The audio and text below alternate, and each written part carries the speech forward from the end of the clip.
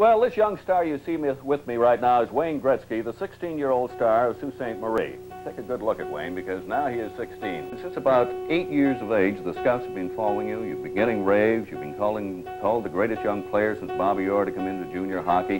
Has this uh, bothered you? Has it put a lot of pressure on you? No, not really.